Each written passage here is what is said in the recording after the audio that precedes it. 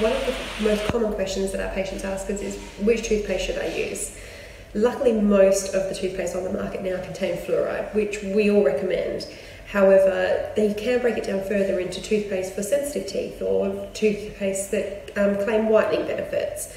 It's important to note with whitening toothpaste that very few actually contain, contain a whitening agent, which means most of their whitening claims come from more of an abrasive claim, which can be fine if used in conjunction with gentle brushing and an extra soft toothbrush.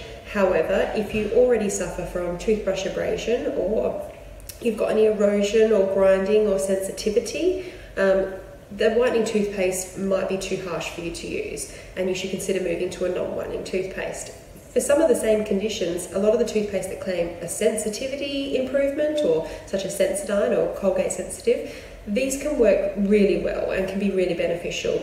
Just best to see your dentist first and to make sure that none of the causes for concern are anything other than something that can be fixed with a sensitive toothpaste.